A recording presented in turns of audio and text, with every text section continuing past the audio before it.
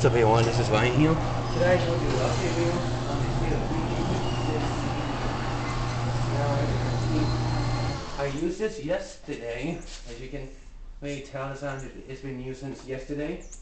And um, the reason why this thing has been used yesterday is because, um, well, because I know the fact this thing has been used since yesterday. And um, I mean, this thing hasn't been started since March, and you can tell about all the um, it has been since March, and this is the last time we ever seen it, and um, it's pretty what you expected happen on this machine, you know.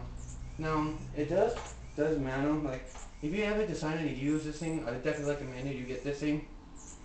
I mean, it's all available at the Studio, which is, um, it's kind of what you expected this machine here, but, um, you got your primer, you got your choke, you got the kill switch, got the trigger, we got the pull rope, and the, that's it right there, and then there's the air filter right here.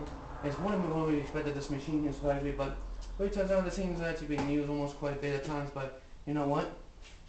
If I ever, get this thing used at some point, this thing actually it does, I mean it does the job, my opinion, so I hope we get this thing used next weekend.